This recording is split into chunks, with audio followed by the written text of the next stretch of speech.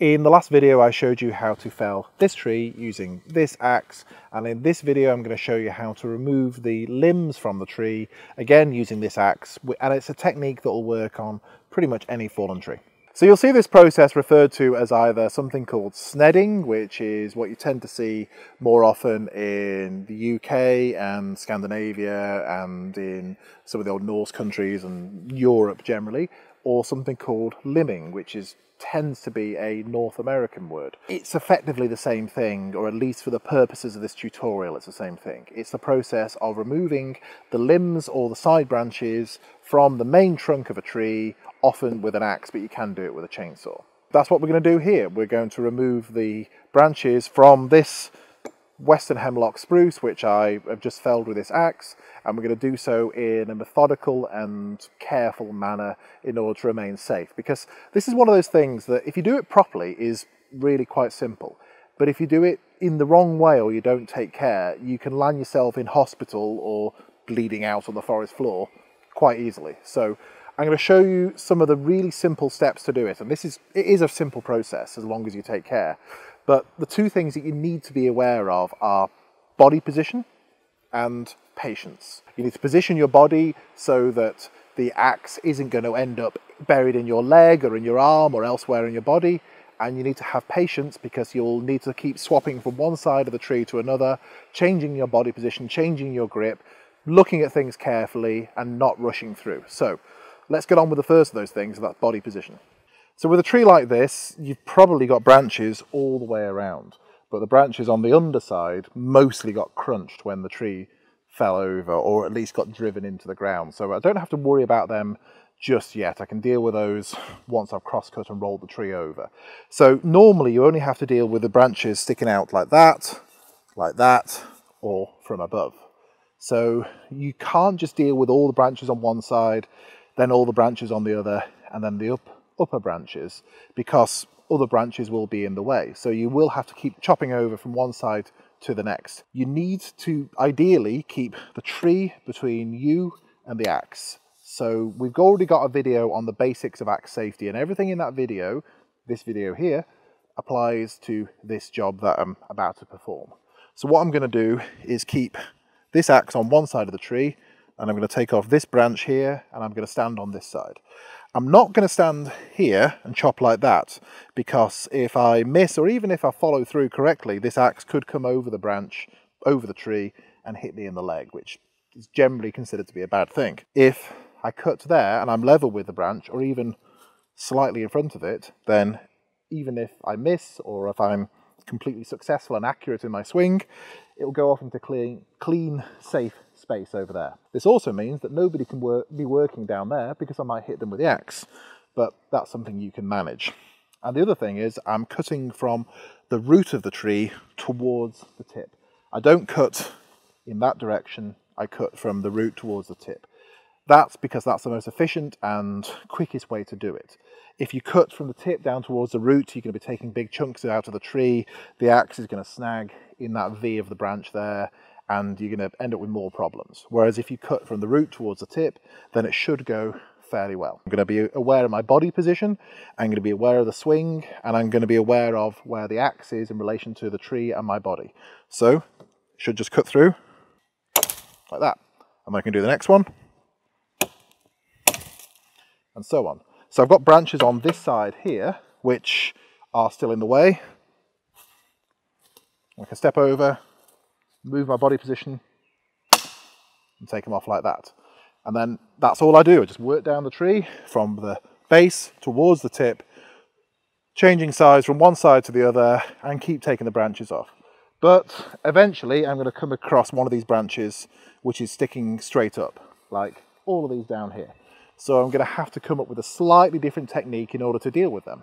Here you're going to want to do something slightly different. So I've got branches sticking almost out of the top. They're kind of to one side like that. But I've got some purely vertical ones further down the tree there. You can't really attack it from either side because it's sticking up pretty much where your axe swing is going to be. You could stand to one side and crouch and go for a sideways cut like that, and that would work absolutely fine.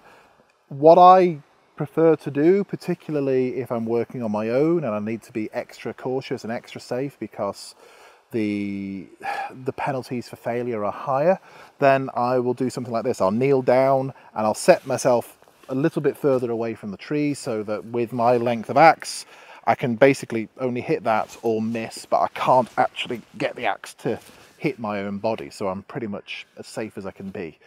And then I'm just going to work on focusing on each branch individually and work through again from the base towards the tip and just cut through each branch until I'm at a point where I can stand up again and go back to zigzagging down the tree. So it should work something like this. and that's about it.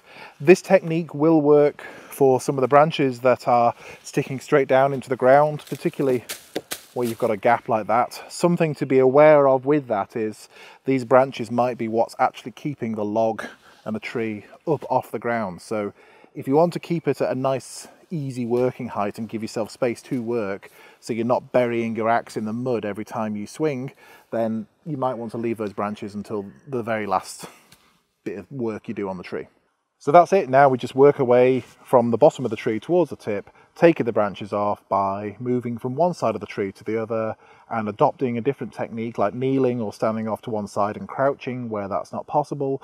But at all times, making sure we're aware of where the cutting tool is, where it's likely to end up if we miss or if we follow on through that cut, and that where possible, we keep the tree between us and the cutting tool and you can't rush this. It takes however long it takes. If you rush, you're going to greatly increase the chances of injuring yourself. And if you're out here on your own or in the middle of nowhere, then the penalties for failure are much, much higher than if you were doing this, say, outside an accident and emergency bay at a local hospital. So I'm just going to do that now. I'm going to work my way down the rest of this tree, taking off the branches and hopefully ending up with a relatively smooth trunk.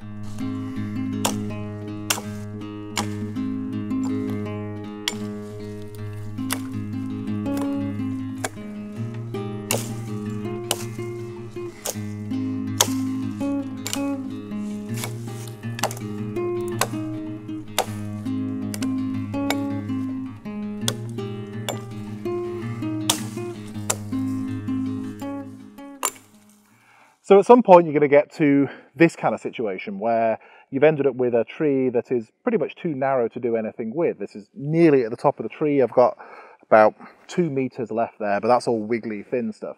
It's not usable for what I want this tree for.